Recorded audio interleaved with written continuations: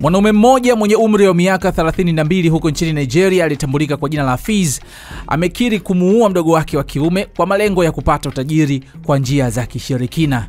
Kijana huyo amekiri kutenda tukio hilo baada ya kufanyiwa mahojiano na polisi. afidhi amesema kuwa mama yake mzazi alimshawishi amue mdogo wake huyo baada ya kumpeleka kwa mganga ambaye alimwambia aliwaambia kuwa wanapaswa kutoa kafara mtu mmoja ambaye ni mwanafamilia ili kupata utajiri.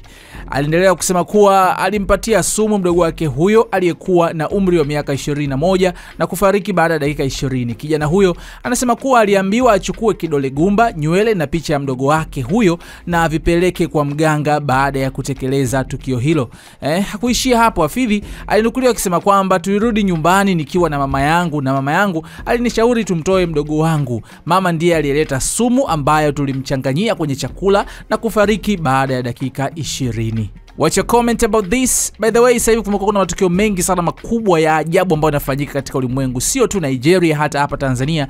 Tumesikia watoto wakiwa wazazi wao, wazazi wakiwa watoto. Eh, lakini kikubwa zaidi inashindwa kutambulika. Nini sababu haswa ya mwendelezo wa matukio haya ambayo yamekuwa akitokea kila siku?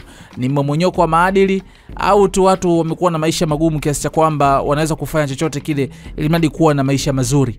You drop comment hapa chini, lakini pia usiache kutufuatilia kupitia website yetu ambayo inapatikana kama www.rickmedia.co.tz, lakini pia kufuatilia kupitia mitandao ya kijamii Instagram, Facebook na Twitter tunapatikana kama rickmediatz TZ.